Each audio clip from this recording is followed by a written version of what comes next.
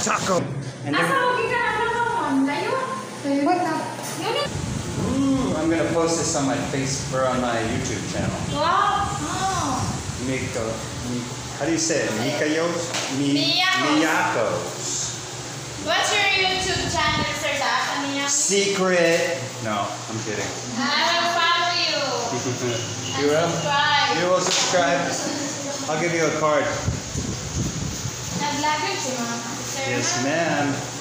Vlogger. So look, they've got authentic, um, kind of like a Mexican theme on the walls with some chips and salsa and the tacos. So we're in the Philippines, so I'd be curious to see what Filipino tacos are like. Because I'm a taco lover. So they got nachos. Let's look at their nacho plate. Ooh, they put some white sauce. What's the white sauce? Vlogger. Food. Food blogger. She's You want Dahil ay, kanang bisag-bisag lang. tacos, quesadilla, burritos, nachos.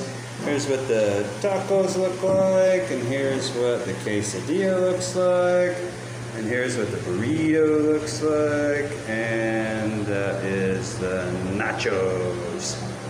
So here is a taco and a nacho, loaded nacho, which seems to have some green tomato, some cheese, some tortilla chips, and a burrito. It's wrapped in mystery. We don't know.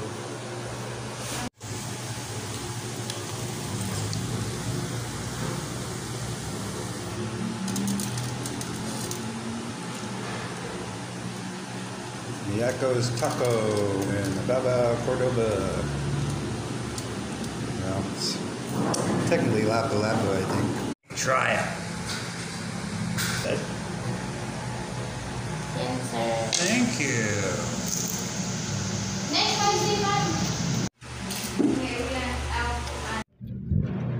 So this is the super burrito.